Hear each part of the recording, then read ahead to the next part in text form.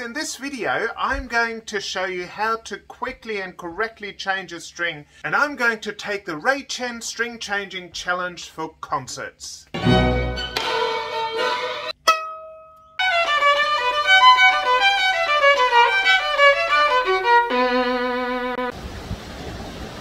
So I'm sitting on a rock by the ocean and it's always a great time to reflect.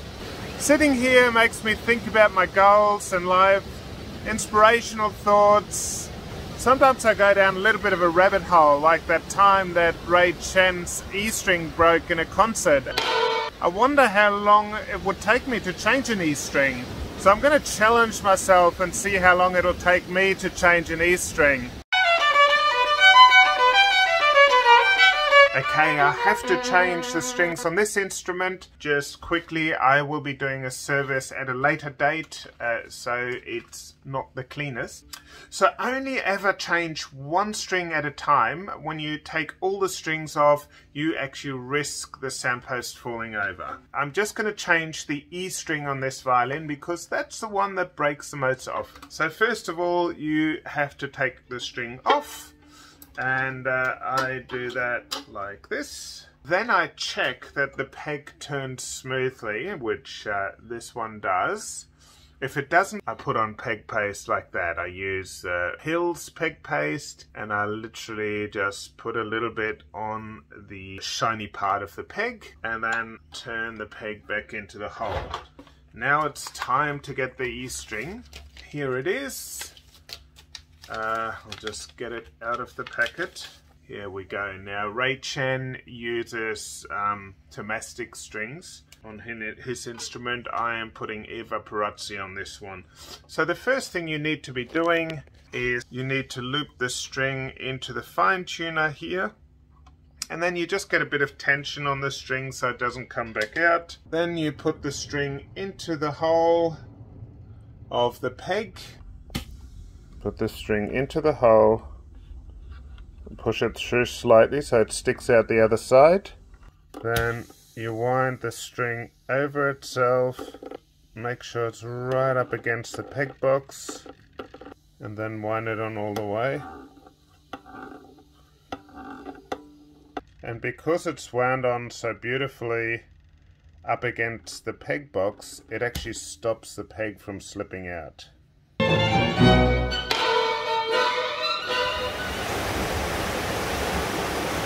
And I thought, wouldn't it be weird if I got dropped into that concert and had to change that string?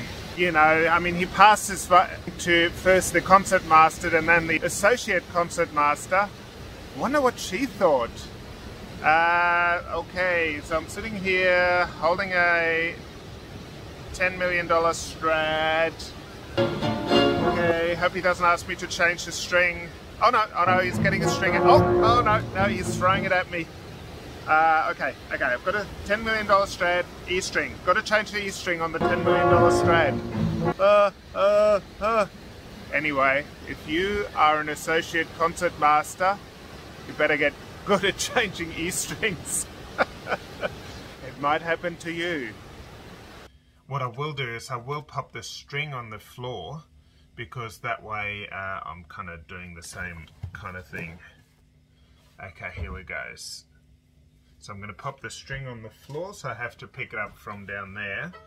And uh, now first thing I'm going to have to do, and, and I really hate doing this, but I'm going to get an old pair of scissors. And my guess is that Ray's string broke somewhere about here. Oh, this is so horrible. I, I hate doing this. Ah! Okay, it worked. It worked. Now, part of the string actually shot over here. So I won't be able to remove that, but there's this bit. But, I mean, taking the string off out here is pretty, at the uh, fine tuner is pretty easy. Now, these fine tuners, uh, this is a different type of tailpiece than Ray Chen has. He would just have a single fine tuner. But uh, Okay, here we go. So I'm now going to imagine that the Associate Concertmaster just passed me Ray Chen's Strad. Don't worry, this is not a Strad. This is one of my most beautiful Pierre Lamont violins, which I, which actually sound really nice.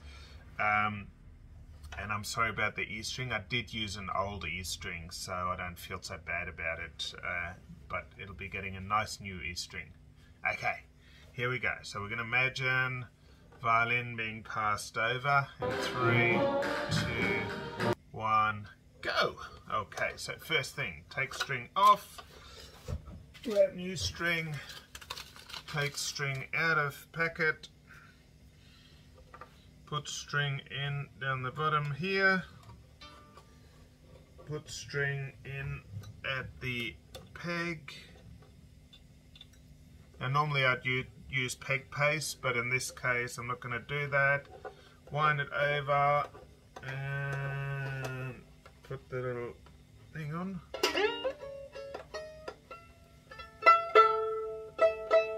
Here you go, Ray, it's done. So anyway, so sometimes it would be quite handy having a violin maker sitting in the front row of uh, of the uh, concert uh, so the you know the violinist can just pass it down. Here change the string and then pass it back. But you're not gonna get that. So you have to learn how to change your own string. And also you have to make sure that you always have a set of strings in your violin case in case something like this happens. And you know, you might even be able to help out a soloist if they forgot to put a string in their pockets. I do have to say that Ray uh, has broken a few E strings during concerts, so he's actually quite good at doing that.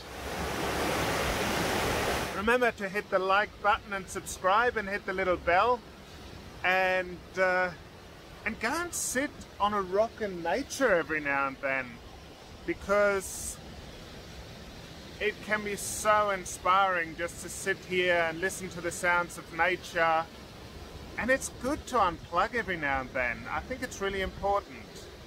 Anyways, see you next time.